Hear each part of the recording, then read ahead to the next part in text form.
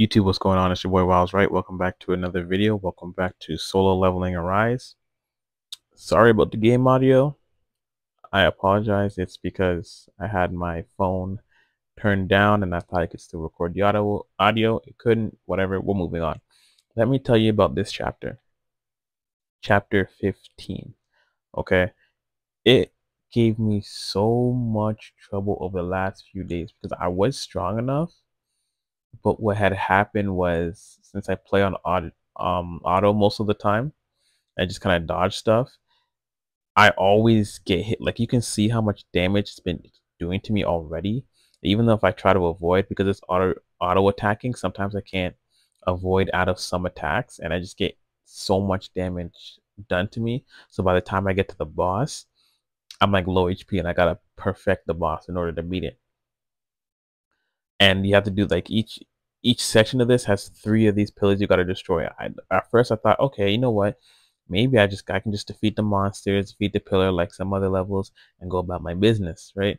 No, I learned that you have to probably destroy the pillars first, and then go forward. And then while you're going forward, at the same time, you pro you have this wall chasing you. And if you go too slow, the wall of fire will close in on you and do an insane amount of damage. Like you can see that I have little HP going into this boss fight right here. Very, very little HP. Walking right into this boss fight. And even though I could easily like 1v1 this boss with like full HP. I'm an idiot. And because I'm playing on auto uh, auto play, like my guy goes straight into an attack, and if I try to avoid mid attack, it starts to cool down to the attack, which is actually disappointing. So I completely understand why people play on PC and they use the controller whenever they can, which I might start doing if I can record my um, iOS gameplay while using a controller. That would be really cool. I'm going to try that out. But man, these levels were so, so, so annoying.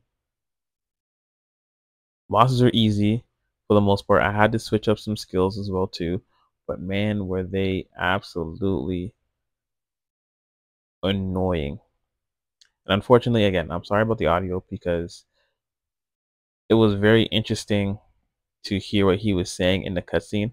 Mind you, you can still read it, you know, you know, my shadows help me get through the souls pretty quickly, but I wonder, is there, you know, you, you, you can read it. Mind you, I am kind of tapping it through at the same time. If you can see my, my imprint there showed up every time I tap the screen, but this was like pretty much a very interesting chapter and the last chapter before you unlock uh, the reverse mode and the you know further chapters going along which is kind of interesting i didn't know after you beat chapter 15, like anything happened. I thought it was just over and you just can continuously get a certain amount of XP up until that point. Like, you know, like it, it increases, but that's besides the point.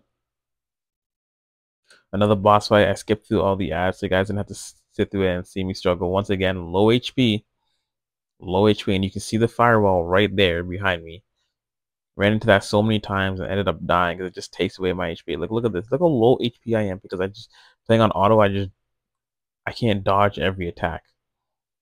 Also, I don't have um, what's it? The ability where you can kind of create a black hole to bring all the mobs together and kill them. I don't have that skill yet, so when that skill uh, and I unlock that skill, that's gonna be great because then it'll make going through ads a lot easier. So when I'm playing this game, I just usually only hold on to skills that do AoE effect. And that's that's what I keep to myself the entire time. It's just AoE effect skills when I'm when I'm going through story mode that is. If I'm doing like a boss run, like if I'm fighting Igris or Cerberus or the Arachnid, you know, the bosses that have break, I'll just I won't strictly go to break, but both my skills will have either medium or high or almighty break damage. It'll, obviously, I'm just gonna do those, but doing story mode, I usually stick with um skills that would do AoE effect. And if they do AoE effect plus break damage, that's even better. But that's why I have uh, CO and I have is it May? No. You know who I'm talking about. I also have Chot too for damage, but that's besides the point. I keep that's my that's my team I'm running. I'm sure you've seen it in the intro, and I'm sure you've seen it in many other videos. I'm gonna do account an account update because I have progressed a little bit further. This is post commentary if you haven't noticed. I will be doing a, an account update for my channel. I'm also gonna post it on TikTok, so if you want to follow me on there, that'd be great too. But I do have a question for all you guys. When it comes to your shadows, how do you guys upgrade it? Like I've gotten both shadows. I've gotten Igris, and I got I got Barak. I think that's how you say his name. I got both of them. But the thing is, I'm not sure if I should unlock a third one or just continue to upgrade Igris or Baraka because having that extra percentage of damage every fight is very helpful or crit dam or crit percentage is very helpful because I haven't maxed out my crit. I think it's only at like 30% right now. But I think upgrading Igris to get maybe that extra 2% per level or something like that would be beneficial or helpful. But I'm just not sure. Because honestly, I don't feel the biggest impact when it comes to using uh, the shadows in battle at the current moment at their base form. So, but it, I know it does help, but still, regardless. But we've been progressing through the story, and I'm pretty much done now. Um, I've reached a standstill point where I can't really go any further because I'm not strong enough, and I'm stuck on hard mode. Pretty much, you fight Igris. I'm at the point where you fight Igris on hard mode, but you can't I can't kill them fast enough to progress to Igris, which would unlock more challenges for me to complete. I've done a lot of challenges. I think I've done chapter 13 in challenges that I've completed, so I'm pretty much I've progressed a lot. It's just pretty much I'm pretty I think I'm pretty much mid game right now. I haven't quite reached end game yet, but I'm I'm mid game. I'm sure if I did some upgrading on my armor, I could reach uh, like 70k power with uh, Sung Jinwoo, but I want to get the right artifacts first before I, you know, go crazy on the on the upgrades for it. So right now, this is the actual final boss of the chapter, who I thought the intro for was really cool. And again, I'm sorry you guys can experience it because there's no um, gameplay sound on it. I, again, I'm not quite sure what happened. I think it's because when I was playing, I had my volume down because I was talking to somebody at the same time. So I apologize for that. That won't happen again. I'll make sure it doesn't happen again. But I think next, since we pretty much completed the uh, story, even though I know there's more to the story, we're going to focus on like account progression as well as maybe some other missions and other bosses uh, we will fight. Let's focus on the story as much. I'll, I'll do that part on my own time.